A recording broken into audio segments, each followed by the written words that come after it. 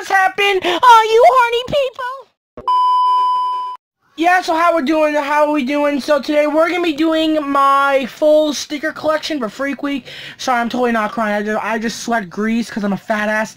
But yes, yeah, so let's get right into it. Alright, Horn, so I got some shoes here. I got my, um, CWO stickers, Collector World Order stickers.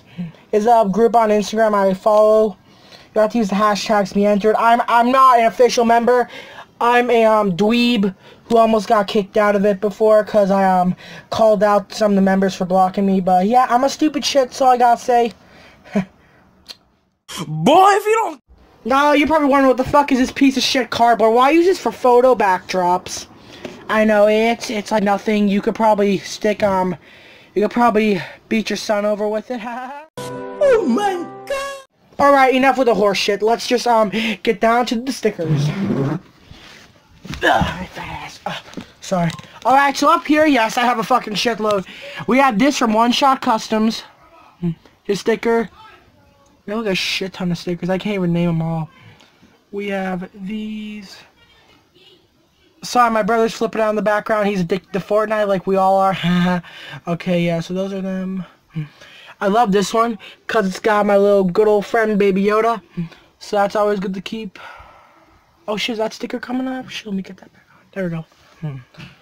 Alright, yeah.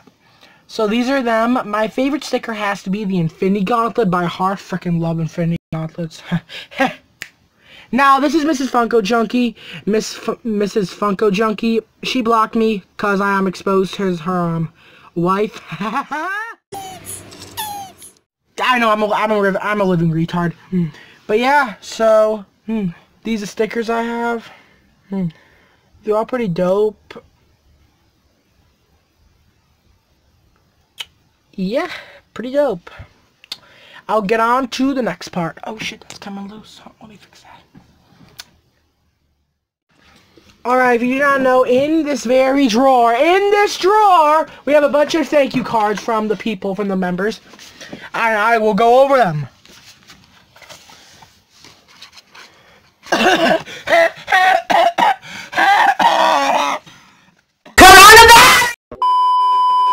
Sorry, I got corona. My bad. Can't help it. Okay, this is thank you for your support, Poppin' Grails. This is another thank you card. I think I have like two of these cards. I believe I do. But yeah, this is... Am I blind?